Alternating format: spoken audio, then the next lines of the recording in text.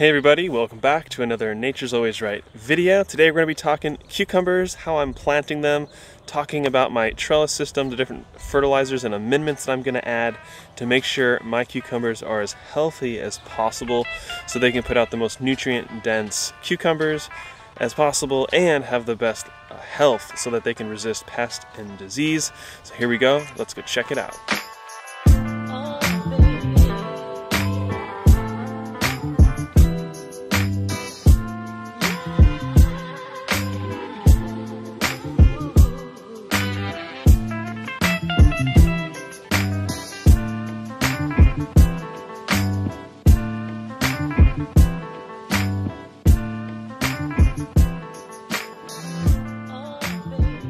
Here's a few of my best cucumbers and I really advise checking out my super in-depth video about pruning the cucumbers, finding the suckers and how to remove them. As of right now, there's not too many suckers, but if you're familiar with the idea of suckers, they grow in the crotch of a plant and what they do is they'll sap away the energy from the main stem to try to produce their own fruit. And we don't want to do that because in my trellising system, we're training to a single leader doing lower and lean. And I'll put a link to the video of my lower and lean system and how to train uh, cucumbers to that system. So today's all about how to do uh, really good planting with your cucumbers. So I'm going to clean these up a little bit. I'm going to just take off the first couple leaves here. And the reason for that is they don't look as healthy. And when I plant this, I want to plant this a, this stem into the ground a little bit. Not as deep as say a tomato if you've seen my tomato planting video, but I do want to bury some of this so that there will be extra root growth coming out of the sides here and giving an overall better root structure, giving it more access to nutrients and water.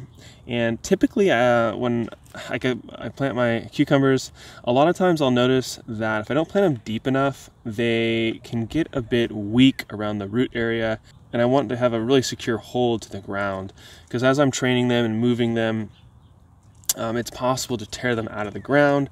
Um, and I just want to be extra cautious. So it's another reason to plant it a little bit deeper and just allow these really tall, super healthy leaves to soak in that sunlight, photosynthesize, and grow the plant. So the very first thing I need to do is mark out where I'm going to plant my cucumbers. So for that I have a 100 foot measuring tape here. I'll put a link in the description to all the different amendments, tools, and things that I'm using to do this. First, we're gonna mark out the row with that tape and a hoe, really simply, but quickly. So I'll just use a brick to hold it in place. And the front mark here, that is gonna go where the first cucumber will be planted. So I'm doing it at the very edge of the bed. And now I'm gonna take this to the other side All right, and then my last cucumber is gonna be at 40 feet, and I'm just gonna mark that with my brick. So I'll pull the tape tight, make sure I'm nice and good. And then that brick is gonna hold the tape in place, so just in case I do hit it with the hoe as I'm going, I won't lose my measurements, because I really want these to be super equidistant, because I plant my tomatoes and cucumbers uh, one foot distance apart. So from here to here, this distance is one foot, but I put them offset, maximizing the horizontal distance from the tomatoes, allowing more air and light to get in there. And I'm gonna do the same thing for the cucumbers. So spacing is really important because we're putting them at this close of spacing. And when you do this, you need to, your management of the cucumbers needs to be really good. So I'm training these at least once a week, pruning suckers and trellising up a single stem. I'll just make a mark with my hoe where I'm gonna be planting them so I can come back and dig my holes. So now I'll be using this three inch wide trenching shovel in order to dig my holes skinny, uh, but a little bit deep. So I'm gonna go down about six to, about six to eight inches. And I want the spacing to be as wide as possible so that at this close 12 inch spacing, I'm giving them as much room as I can, as much air and as much light so that they can get the maximum growth and also to help prevent disease.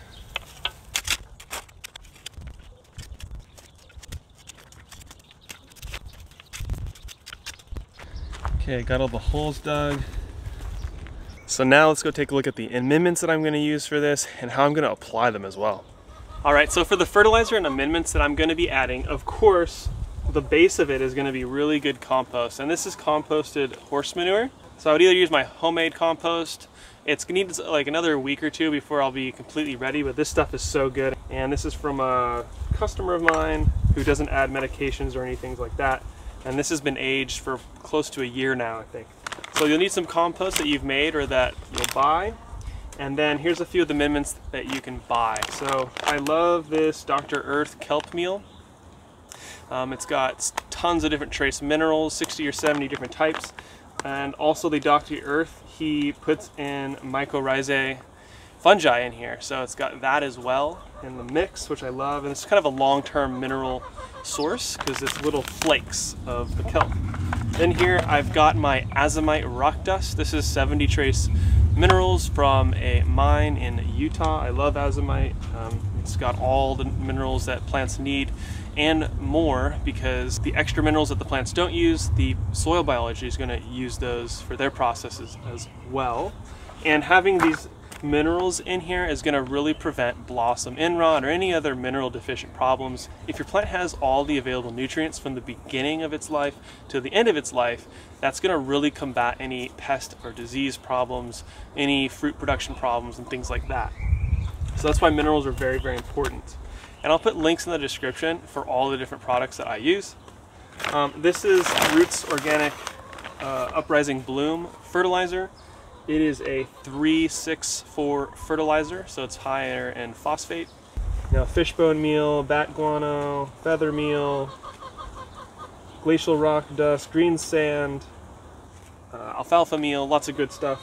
So this is going to provide any other major nutrients uh, and minerals too that I'm not providing. And so I like to add a little bit of that in there. And I'll show you the amounts that I'm putting in as well.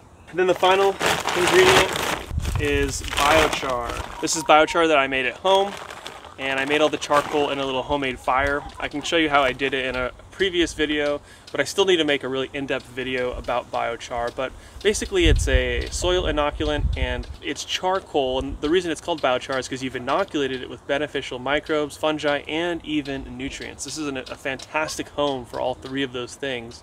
So it's a way of restoring uh, the health of soil, adding more nutrients. You don't have to fertilize as much by having this in your soil. So check it out if you haven't heard about biochar. It's pretty interesting stuff. Okay, so now for the amounts that I put in. Um, I don't, you know, I don't really measure things. I have an approximate amount that I put in. Um, the fertilizer I, I, do judge based upon what they recommend. For the biochar, I'm just gonna sprinkle out a couple handfuls and this I inoculated with um, compost and a ton of compost and worm tea as well. Like three handfuls. The biochar should be pretty much like a maximum of 5%. Some people have gone as high as like 10% in a mix, but it's not necessary. My soil is pretty good already, so I'm gonna do like 1% or not even. Then we've got our kelp meal with mycorrhizae. This is something I add to my seedling mixes as well. So for this, I'm adding about a full cup into this wheelbarrow. The azomite also about a full cup. And then same for my fertilizer based upon their recommendations. They say like five to 10 pounds per 100 square foot garden bed, but we're not covering the whole garden bed. We're just doing a handful in the bottom of the hole and then some on top of the plant as well. This is like two cups actually. And then I like to mix it with a pitchfork. Well, I like to start mixing it with a pitchfork and then I'll do the final mixing with a, a flat edge shovel so that I can be sure to scoop and scrape the bottom of this wheelbarrow really well. I always like mixing my compost on top of my compost pile or right next to it so that if some does spill out, it's just going back into the pile and I'm not going to lose any of those nutrients. They'll eventually get out into my beds. I'm just trying to break this soil up a little. I like doing this technique with the pitchfork where I go as deep as I can and then shake it upwards and that helps all the nutrients or the amendments filtrate down into this compost. Then once I've gotten it decently mixed, I'll come in with my straight edge shovel so that I can scrape the bottom And it's important to mix it really well so that each tomato is getting the same amount of nutrients. If I see any big chunks of wood chips or carbon pieces, I want to get those out of there. Okay, super happy with this now. So now we're gonna go put it into some five gallon buckets so we can easily distribute it out into the holes. I'm just gonna throw one handful into each hole. I want the plant's roots to have access to the really good nutrients right away. I'm also gonna top dress this fertilizer compost amendment on the top as well. That way that the topsoil, when it waters, it'll infiltrate the nutrients down. And then there's a bunch of good stuff already in the bottom. And I've just found that over time, um, you know, it's a really good way to start your summer fruiting crops. And that's how a lot of the professional market gardeners do it as well. So I'm gonna spread this out. Then I'll come in and set up my cucumbers for planting.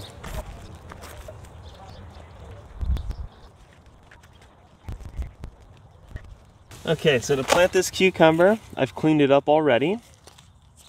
I've test fit the hole and it can be planted a little bit deeper. So I could have dug my hole a little better. I also added in a bunch of that really good fertilizer. Great root structure on my cucumber here. Starting to get a little root bound though, so I could have planted these earlier. So what I'm gonna do is just pull the fertilizer back so I can get it as deep as I can. And then I'm gonna hold the stem to make sure it doesn't break as I bring in all the soil. Then I'm gonna compress it down so that I'm removing all the air pockets to keep the roots really healthy. If a root hits an air pocket, it will die. All right, that's it. Now I'm gonna add two big handfuls of my compost fertilizer minerals.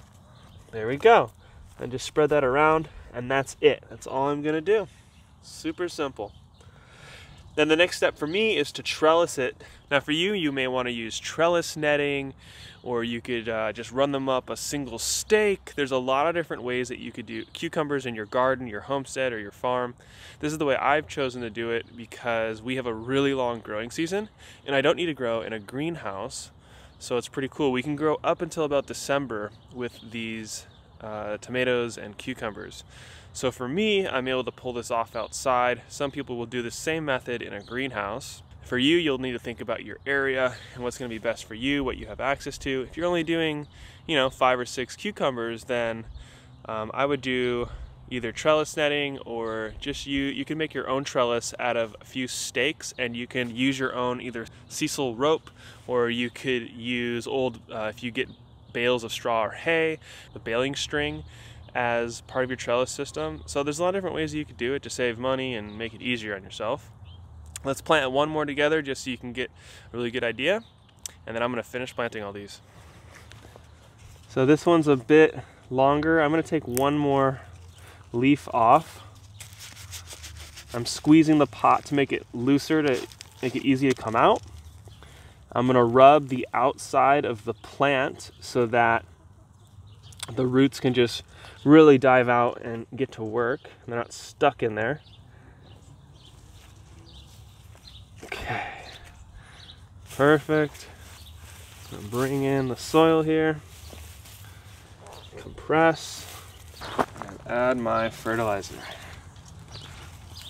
Perfect. Done. All right, so check out the cucumbers about 11 days after planting. They're looking really good. They've really taken off and they've grown quite a bit and I've harvested a few cucumbers already. So that's really excellent and they're tasting extremely good.